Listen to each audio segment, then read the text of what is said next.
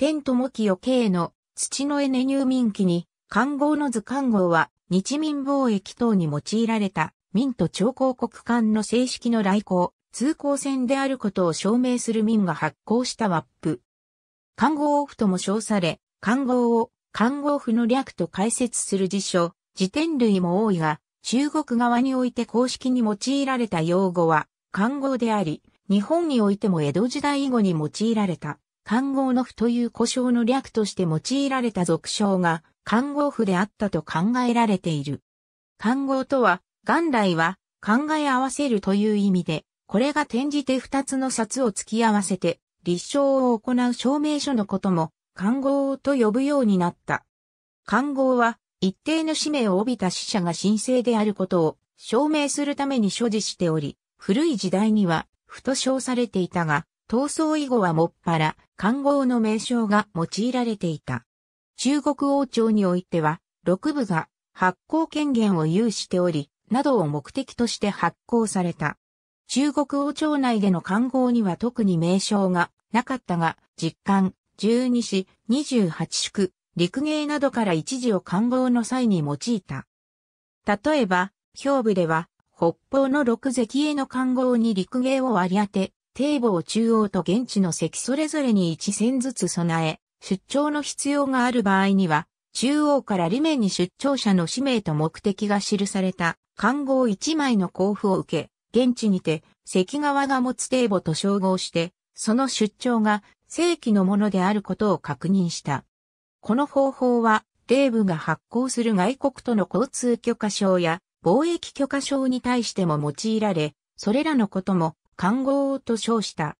民の官号は、民の公部16年にサムやチャンパに与えられたのを最初として、東アジアの50カ国程度に与えられた。官号の主な目的は、超広国とアキラとの国家間の位置づけを明確にすることと公使戦の区別を行うことである。日本をはじめとする多くの国には、民国内と同様の紙の官号が与えられていたが、すべての国が同じではなかった。例えば、チベット系の聖番では、同性の金牌神父が官号の代わりとして与えられており、現在のラオスやミャンマー方面にあった諸国家に対しては、金牌神父と官号が併用されている事例があった。さらに、朝鮮や琉球に対しては、歴代国王の命への忠義を評価して、官号を免除し、国王の評文をもって、兆候を許した。当時の視線は、和光に代表される手洗い貿易方法で、元の衰退を弱気させるほどで、眼下できないものであった。民は日本に和光の取り締まりを求め、幕府も公船で貿易を行い、死貿易を禁止すれば、既存の民間貿易の利得を幕府側で一手に引き受けることが可能になるという目論みから、官号を用いる貿易が推し進められることとなった。日本では、応永11年に民の永楽帝から派遣された使者が、足利義満に、冠服、金印とともに、日本国王の印のある永楽官号を送ったのが最初である。アキラ、超広国の双方が、官号と官号堤防を持ち合う。日民間では、日時官号と本時官号があり、日時官号は民の霊部が、本時官号は日本の室町幕府が、それぞれ100枚ずつ保有した。同様に官号堤防も日時官号堤防と本時官号堤防が存在し、それぞれ2線が存在した。うち、それぞれ1線ずつは民の霊部にて保管され、残り1線ずつのうち日時官号堤防は室町幕府に、本時官号堤防は民が日本船の寄港地と定めた名派が所属する石膏不正士が所持した。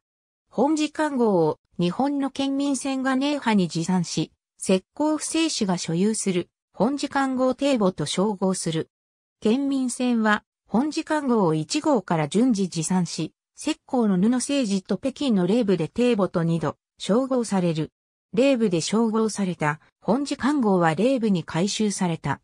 逆に民側は日時間号を日本に持参し、日本側の所有している日時間号堤防と称号する。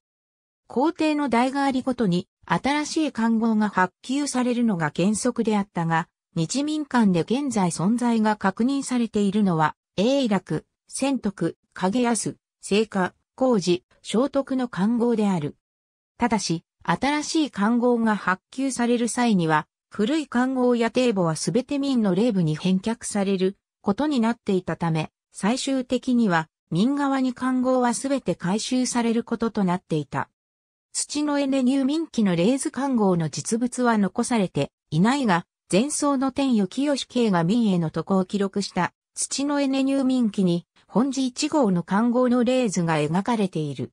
基本的には朱墨の反印がされた文字と、筆記の関数字のある大きめの縦長の紙で、裏面には献上物、数、不体貨物、静止以下の乗船者数などを記入したもの。以下に実例を示す。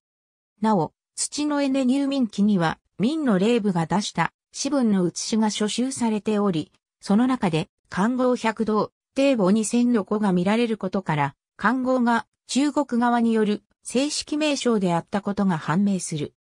また、土のエネ入民記の日本側記述にある、漢号領紙、漢号100枚を、はじめ、影領県日録、仙徳の漢号、影安の漢号など、前輪国宝記、節用集など、当時の日本側資料においても、漢号が正式名称であったことが確認できる。実は後世に知られる漢号府の故障が初めて登場するのは、工事3年の大内氏の滅亡によって、日民間の公式な外交関係が途絶してから、半世紀以上も経過した、慶長15年に、江戸幕府老中、本田正純が、福建総督に宛てて、日民の国交回復と貿易再開を要請した書簡中にあった作官号の府という文言であり、日民間で実際に貿易が行われていた時期の文献や記録からは、看護婦という言葉は検出されていない。そのため、看護を他のワップと区別するために、看護の符などと呼称されていたものが省略されて、看護符という呼称が発生したものと考えられており、江戸時代以後に定着した俗称の意を出ない呼び名で、あると考えられている。看護符という言葉は、長年、工事園、日本国語大辞典などにおいて用いられてきた。だが、田中武雄が1981年に論文、看護婦、看護院、看護貿易に、初集において、看護婦が江戸時代以後に日本でのみ用いられた俗称に過ぎないことを立証したため、以後の教科書、辞書、辞典類では、看護婦という言葉を避け、看護という言葉を採用する例や、項目名に看護符を採用しても定義部分でそれが正式名称ではないことを記述する例が増加している。この時代、民と日本で全く同じ工事という言語が用いられているが、偶然の一致に過ぎない。田中武雄は、看護という言葉自体に、ワップ、証明書の意味を有しているため、わざわざ、符を付け加える必要性がないこと、また、符という字の持つイメージから実際には紙製である、看護を竹製や木製の札のようなものという誤解を招きやすいことを指摘して、看護婦という用語自体が望ましくないと述べている。ありがとうございます。